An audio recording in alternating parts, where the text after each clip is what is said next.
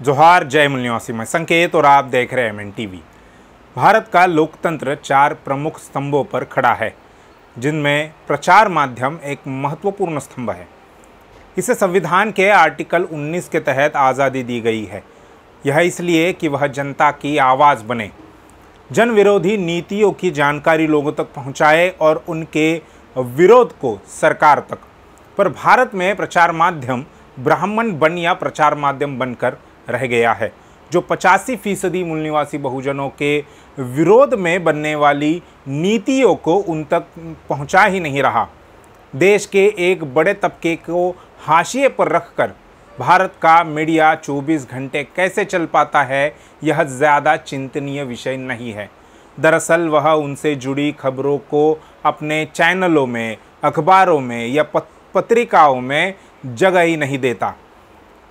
ज़्यादा चिंतनीय विषय तो ये है कि जिन पचासी फ़ीसदी लोगों की खबरों को आज तक इस मीडिया ने छुपाने का काम किया, वही पचासी फ़ीसदी लोग इस मीडिया को क्यों देख और पढ़ रहे हैं? इसका जवाब शायद ये है कि उनके पास दूसरा कोई विकल्प नहीं है। लेकिन सोशल मीडिया के आ जाने के बाद से यह समस्या थोड़ी बहुत कम होती हुई या हल होती हुई दिखाई दे रही है। फ़िलहाल सुप्रीम कोर्ट ने टीवी चैनलों को लेकर जो कहा है वह जान लेते हैं। टीवी चैनल किसी समाचार या घटना को प्रस्तुत करते हुए कई बार नाहक ही विवाद या सनसनीखेज शक्ल देकर पेश करने से नहीं हिचकते।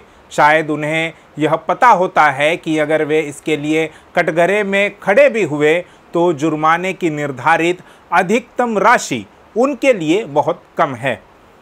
सुप्रीम कोर्ट ने एक याचिका पर सुनवाई के दौरान कहा कि सन 2008 में ही तय नियमों के तहत अब भी महज एक लाख रुपए का जुर्माना नाकाफ़ी है और जुर्माने का अनुपातिक संबंध चैनल के विवादित कार्यक्रम से होने वाली कमाई से होना चाहिए। लाइव लॉ के अनुसार chief justice D Y Chandrachud ने कहा कि आप जो जुर्माना लगाते हैं, वो क्या है?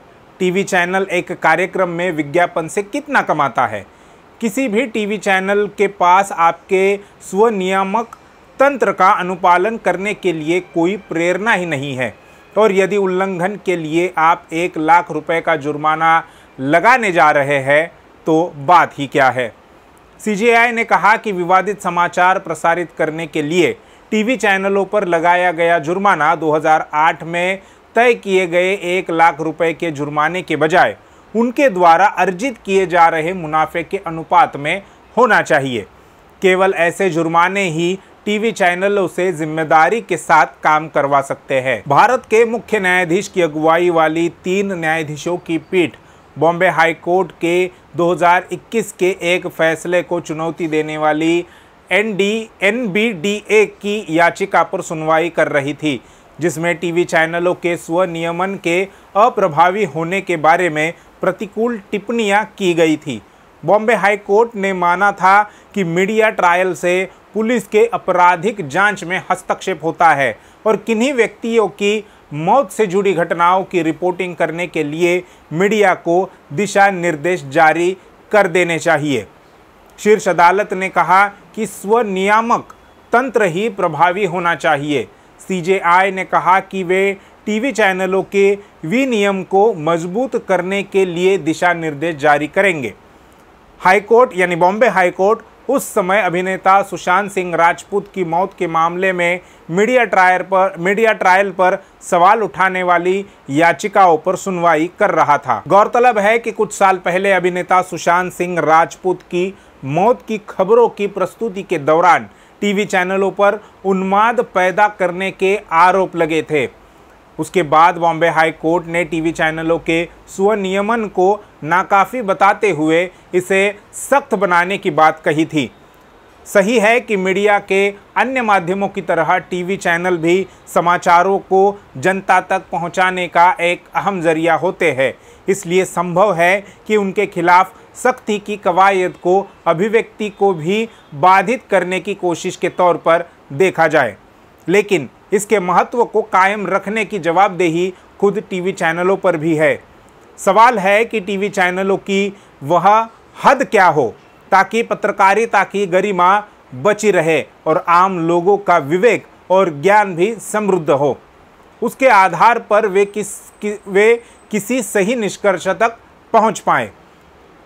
कायदे से स्वनियमन के ज़रिए टीवी चैनलों को खुद ही यह सुनिश्चित करना चाहिए कि उनकी निष्पक्षता कटघरे में न खड़ी हो। आए दिन किसी खास समाचार की प्रस्तुति को लेकर कुछ टीवी चैनल इस तरह आक्रामक दिखाई देते हैं कि लोग मुद्दे के वास्तविक संदर्भ से दूर होकर भ्रमित हो जाते हैं। इसका प्रभाव कई बार संवेदनशील स्थितियाँ पैदा कर देता है। हालाँकि कुछ टीवी चैनलों की इस प्रकृति पर लगाम लगाने को लेकर स्वनियामक तंत्र के साथ साथ ठोस पहल के लिए आवाज़ें उठती रही है। लेकिन इस दिशा में अब तक हुए प्रयासों के नतीजे आधे अधूरे ही रहे हैं। इसलिए शीर्ष अदालत की इस राय की वजह समझी जा सकती है कि जब तक नियमों को कड़ाई से लागू नहीं किया जाएगा, तब तक टीवी चैनलों के, टीवी चैनलों के लिए उन पर अमल करने की बाध्यता नहीं रहेगी।